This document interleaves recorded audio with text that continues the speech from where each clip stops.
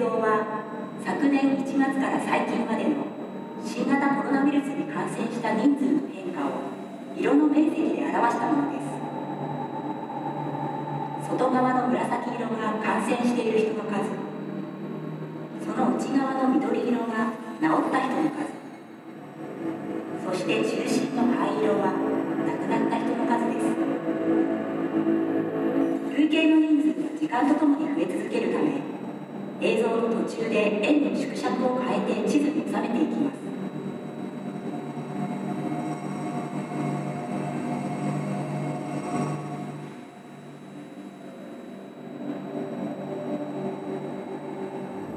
感染が世界に広がる中それぞれの地域で人々の生活や社会に及んだ影響は大きなものですそしてこれが現在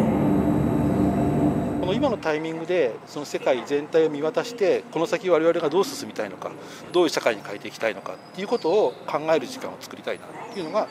あの、まあ、この「ジオコスモス」にこのコンテンツを出しているっていう意図になります。